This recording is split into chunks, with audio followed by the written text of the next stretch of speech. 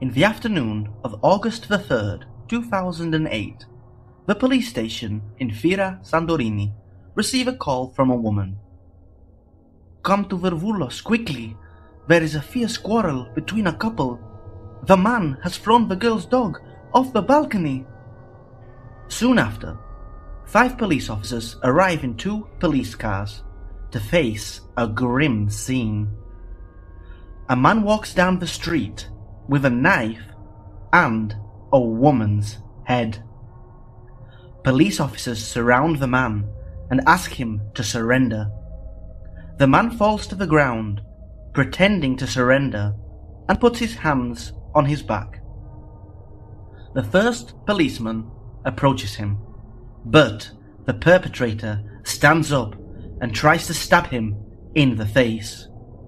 They ask him again to surrender, and after failing to comply, he takes two bullets to his body.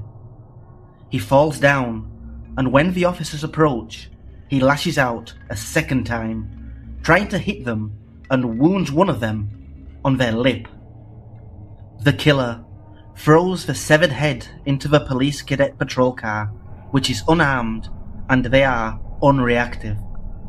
He sits in the driver's seat and puts his foot down on the gas. Despite being injured, he drives normally. At some point, he takes a sharp maneuver, passing into the opposite stream of traffic, crashing into a passing motorbike, being ridden by two young women, doctors, who were en route to the Santorini Health Centre. One is seriously injured in the collision. She later testified that the shooter tried to clash with the two wheeler to delay the pursuing officers with the injured woman on the tarmac. At some point, a third patrol car gets involved in the pursuit and rams the perpetrator's car. He jumps out of the driver's seat and tries to attack the officers for a third time, who shoot him once again. We shot at him and he didn't fall. He was in a situation of amok, they later testified. The gunman, severely injured, is then transported by military plane to Athens. Along the way, the nurses hear him praying. He received six bullets, one of them in the liver. He was operated on and saved after several days of hospitalization. This was the finale of the darkest and heinous crime in the modern forensic chronicles of Greece. But where did it all begin? The killer, a cook named Athanasios Arvanitis, at the time 31, had married a year earlier to the teacher Avamandia Karkali, 25. The latter relocated to Akrotiri Santorini, and the couple moved to the island. Arvanitis got a job at a restaurant in Imerovigli. In retrospect, it was revealed that he had serious psychological problems, also receiving treatment. The day before the murder, he had a fight at work with his employer, in some version because he demanded that his wife be hired at the restaurant which was not possible, and he eventually resigned.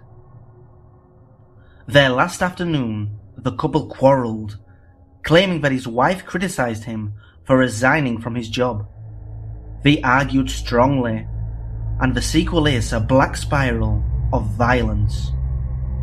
Arvanitis killed the 25 year old's dog, cutting off his head and throwing it off their balcony. He then killed the woman the same way and went on to the streets. A few meters down, before the police officers arrived, he met an elderly woman with her granddaughter, who froze in front of the terrible sight. Grandma, don't be afraid. I won't hurt you. Don't run, he told her. He went ahead and appeared calm, neither shouting nor making sudden movements. It was like holding a doll in his hand, another eyewitness described.